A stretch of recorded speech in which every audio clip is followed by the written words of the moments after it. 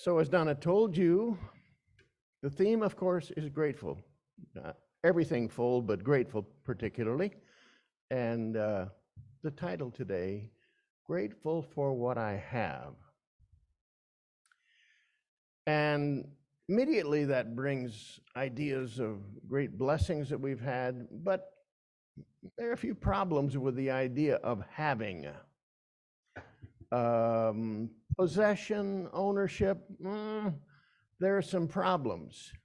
Um, I think of a couple of problems, and just to give you an idea of where I'm thinking, what, what I'm thinking, there was um, in Greek mythology, um, uh, yeah.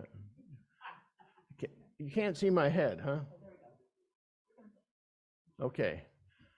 I hope we haven't damaged that. okay. So, in Greek mythology, oh, this is a quiz too. This is a quiz. Just speak out the, uh, the answer as soon as you know it, uh, both online and here in person. There was a great king who uh, went to one of the mythological gods, um, the god of wine, vegetation, fertility, festivity, ritual madness, religious ecstasy, and theater. That's quite a handful or a mouthful. So this king went to Dionysus. Anybody know the king yet? Dionysus, the god, the Greek god. And um, the Greek god had been appreciative of something that this king had done. And so he asked, What would you like? And the king said, I would like whatever I touch to turn to gold. Oh, there we go. You got it. And you know the story how it didn't work so well. King Midas was so set on having everything in gold. I've heard about other people that think that way, but um, everything in gold. And so the petals on the flowers were gold, but they were brittle and they lost all of their scent. And so the roses that were there were no longer the same. He even got to the point where he touched his daughter, and his daughter turned to gold. Having has its problems when we go greedily after something. The having gets contorted. It's something different than the blessing that it really is. And then there was, uh, now we're second part of the quiz. There was um, this woman who, with her husband, uh, stole $5 billion from their country. And after they had been deposed, you're going to get it right away, I know. They went into the lockers where this couple had stored their things and found 3,000 pairs of shoes. Who, who's, who's got it? Imelda Marcos, of course. Again, an example of how having and wanting to have and wanting to have it all and more than anybody could use brought them to loss of what having really is all about. And then one more. A couple of characters were tunneling in search of treasure. And when it seems like they were there and it was within sight, one of the characters, and you're going to have to get this one, I'll try to imitate the character. It's mine, you understand? Mine, mine, mine. Get back in there. Down, down, down. Go, go, go. Mine, mine, mine. Who got it? Daffy Duck and Bugs Bunny. Mine, mine, mine, the dark side of having. But let's turn from that and turn to the light side, the bright side of, of having. Though there are those problems, the key spiritual truth that I came up with for today is grateful to my source and its unlimited supply. I hold all things lightly, knowing that all things work together for good. I want to say that again. I like that. Grateful to my source and its unlimited supply, I hold all things lightly, knowing that all things work together for good.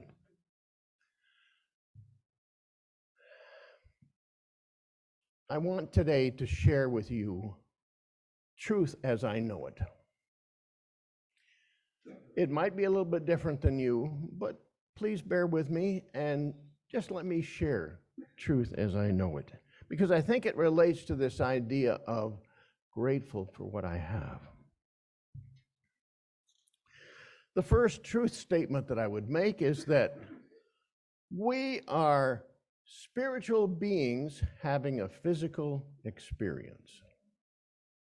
We are physical beings having a, no, we're spiritual beings having a physical existence.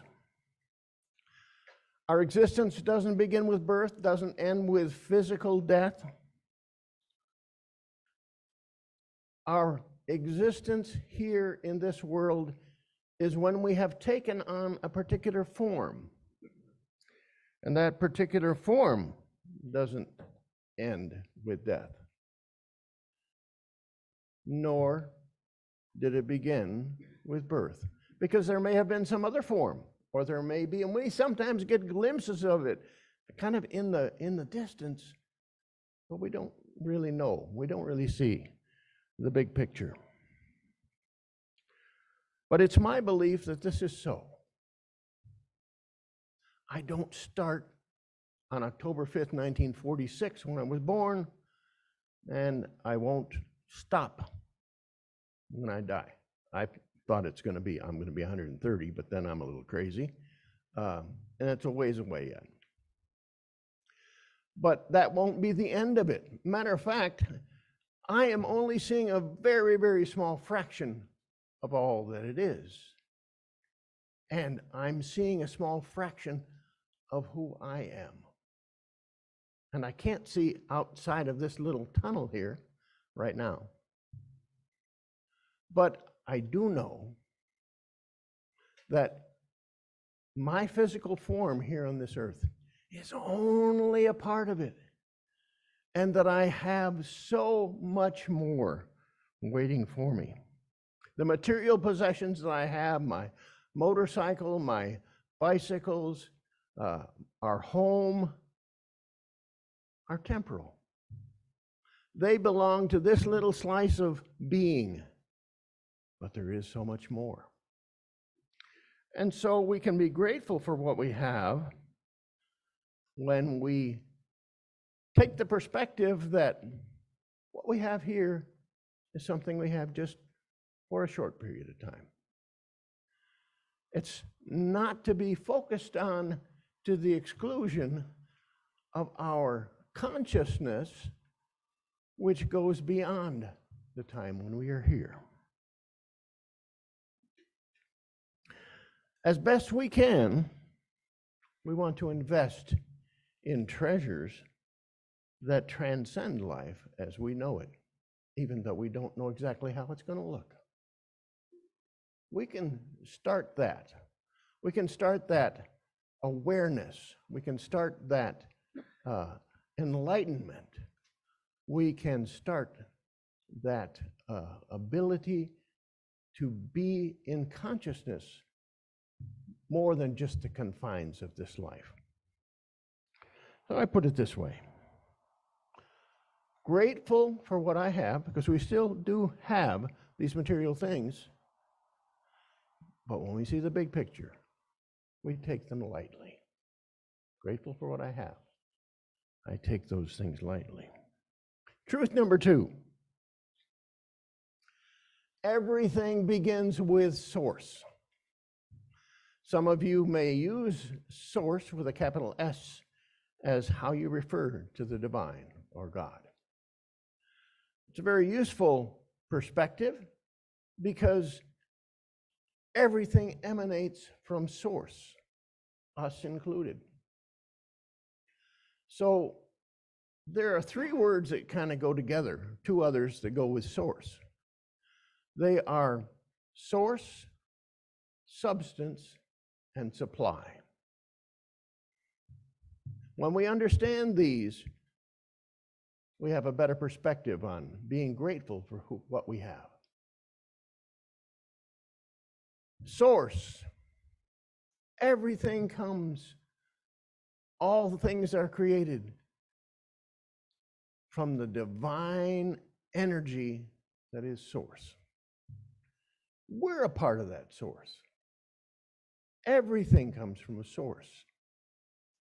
And everything that we see in form comes from the substance that goes with that source. I really like the way Wallace Wattles puts it. Wallace wrote The uh, Science of Getting Rich, kind of a funny title, but there's a lot of spiritual truth there. And he puts it this way when he talks about substance there is a thinking stuff from which all things are made, and which in its original state permeates, penetrates, and fills the inner spaces of the universe. And then he goes on to say, a thought in this substance produces the thing that is imagined by the thought. What we have in this world is produced by thought, by giving our attention, our mind, even though we don't know it, to that divine substance from which everything comes. So, of that truth, I say, with regard to what we have and being grateful for what we have, we are grateful for the source from which we come or the substance that makes all of the things that we have in our lives physically, and for the supply. The supply is unlimited. Divine supply doesn't have limits. We ask for only a little bit, or we don't ask at all. But the wealth in every mind the cattle on a thousand hills. I remember a song when I was a youngster that talked about that. And more. We can't even imagine it. The universe being as large as it is. So I say about this truth we are grateful for what we have, grateful for the source, the substance, and the supply that is available to us. Lao Tzu said something that sounds a whole lot like what I've just been talking about. Be content with what you have. Rejoice in the way things are. When you realize there is nothing lacking, the whole world belongs to you. Truth number three. This one I really like. It's all good. I believe this to the very core of my being. I call it, uh, um, uh, I've kind of adopted a word, omnibeneficence. All good. So when you have the perspective of it's all good,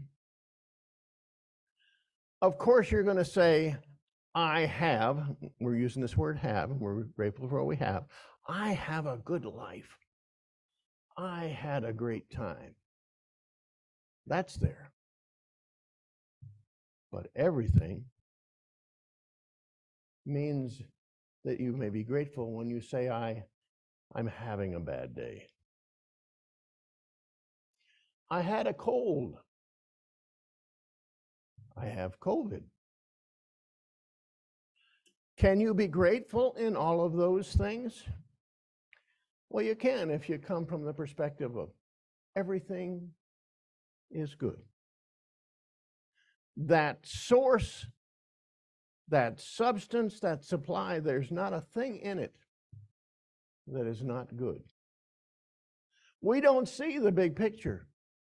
So we sometimes look at what's there and we think, oh my, that's awful. Or we get afraid because we don't see the big picture. I know that you've had the experience of having something happen that you really disliked or was terrible or felt painful. And two years later, you were grateful for it because you see more of the picture. I suspect that we don't see the big picture that can extend beyond the life that we have here in form. But it's my belief that everything does work together for good. And I put that in the context of being grateful for what we have with this way everything works together for good. So, for everything I have, good or bad, positive or negative, painful or exhilarating, I am grateful. That takes some work. But now I get to the time when we always say, How do I do that? And I thought maybe there could be a list of things that I would give you, but no. I'm going to give you one thing. There's an interesting phrase that has cropped up in the world situation. It's called humanitarian pause. Of course, you know it relates to the war between Israel and Hamas. The desire to have a pause. So I'm going to suggest that what will help us with regard to these truths and help us with regard to being grateful for what we have to be a gratitude pause. A gratitude pause. Whenever it comes to you, whatever the situation, pause. There's power in it. And give gratitude. Even though maybe at first it doesn't feel like it.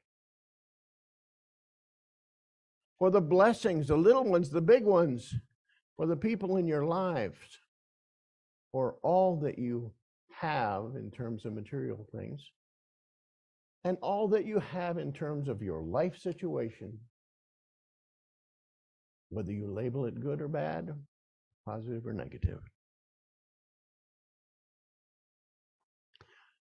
Let me say that key spiritual truth once more. Grateful to Source and its unlimited supply, I hold things lightly, knowing that all things work together for good.